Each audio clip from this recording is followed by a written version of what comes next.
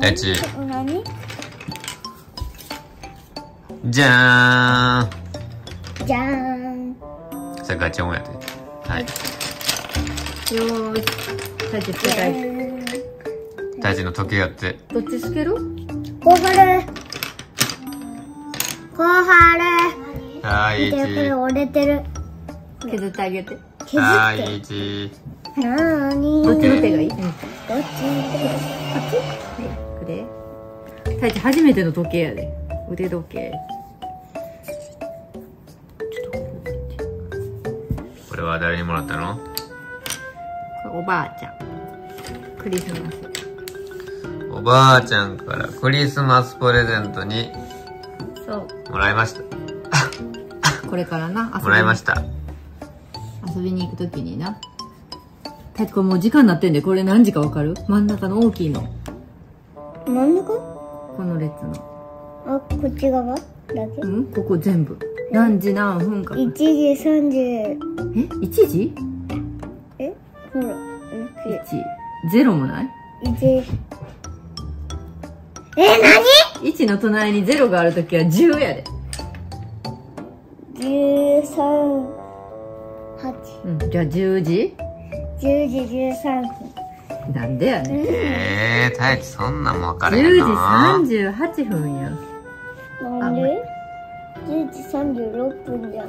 38やんで下のこの見て。これ何かわかる？下に。あ53、54、55、秒。54。あ、間違えた。54ちゃうわ。上は日付やで。12月26これ時間？これは秒。で真ん中が時間。取ろうん。待ってできちょっと待ってちょっと待ってタイチが嫌なんです黒かっこいいなでこれを注文したのはママなんですけどじゃーん間違えて最初に大人用を頼んじゃうっていうミスをしましたねはい失敗大失敗これはっこいいよパパにくれるそうですそうパパとタイチほらお揃いいやとりあえずママつけてみて今逆やで。え？逆ちゃう？